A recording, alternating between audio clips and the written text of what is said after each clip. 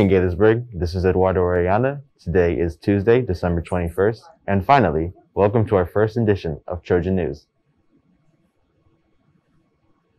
Modern Music Masters is a music honor society that is making a return to Gaithersburg. Bella Foch spoke to Miss Clark to find out all about it. My name is Miss Clark, and I'm the chorus teacher.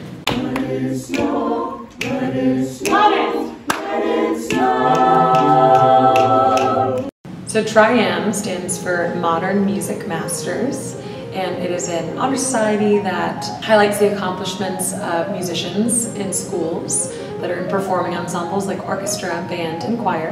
It also provides students opportunities to do community service specifically through music. People should apply for Tri-M because it's a great opportunity to be with people who are also outstanding musicians who are looking to give back to the community specifically through the field of music. We're really excited to bring Tri-M back to Gaithersburg. It's been like over 10 years since there was a Tri-M chapter here at Gaithersburg. So excited to start strong and get lots of applications in. It's Academic team has returned to action. Ethan Butler talked to some of them about what it's like to prepare to compete. Are you interested in learning fun facts about the world? If so, the It's Academic team would be perfect for you. New members would be beneficial to the team. But why might there be such a shortage of new members this year? I think it's just the fact that people are kind of intimidated by, by what the club really means. So many, many people think that it's about, you know, being smart and memorizing everything, but really it, it's a process. It's it's a whole learning process that's a blast once you really get into it. One of the best known novels of the author Sherwood Anderson is one comprising a series of interrelated fictional towns in what state? Ohio.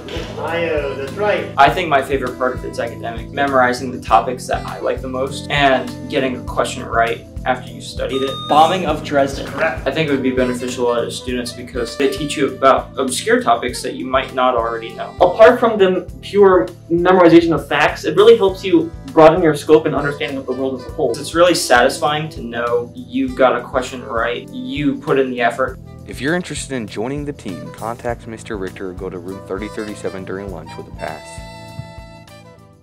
No matter your interest, there's probably a club for you at Gaithersburg.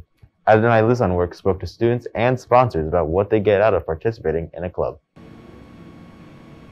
I participate in the NJROTC unit. Hi, my name is Nilda Karras, and I am the ambassador of student government, which is SGA, and also BFFs. How would you say that has affected your social life at Gaithersburg High? Uh, it lets me meet new people and makes me talk to a lot of people that I wouldn't otherwise.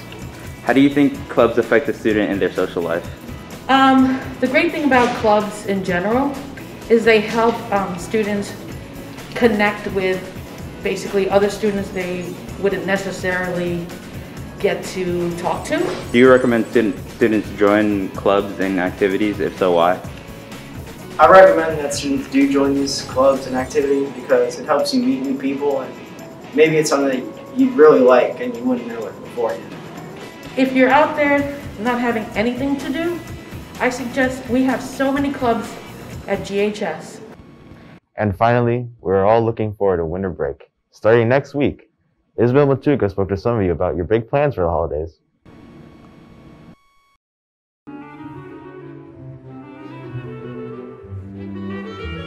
Can you say your name and your grade? My name is Amanda Salcedo and I'm in grade 12. What are you looking forward to most about winter break?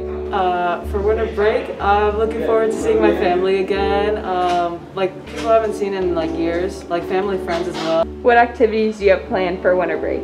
Um, definitely to play games with my friends. Um, also to see family, of course. Um, holiday shopping. There you go. Can you say your name and your grade? Uh, I'm Shane Wallace. I'm in ninth grade. What are you looking forward to most about winter break? Uh, hanging with my family and playing sports. What activities do you have planned for winter break? Video games and opening presents. Do you have any winter family traditions? Uh, we open one Christmas present the day before Christmas. Can you say your name and what grade you're in? Um, my name is Nijay. I'm in ninth grade. What are you looking forward to most about winter break? Um, I'd say going to New Jersey to see my dad. Do you have any winter family traditions? Um, we all do a gift exchange. And that's it for today, Gaithersburg. We hope you enjoy your winter break, and we'll see you again in 2022.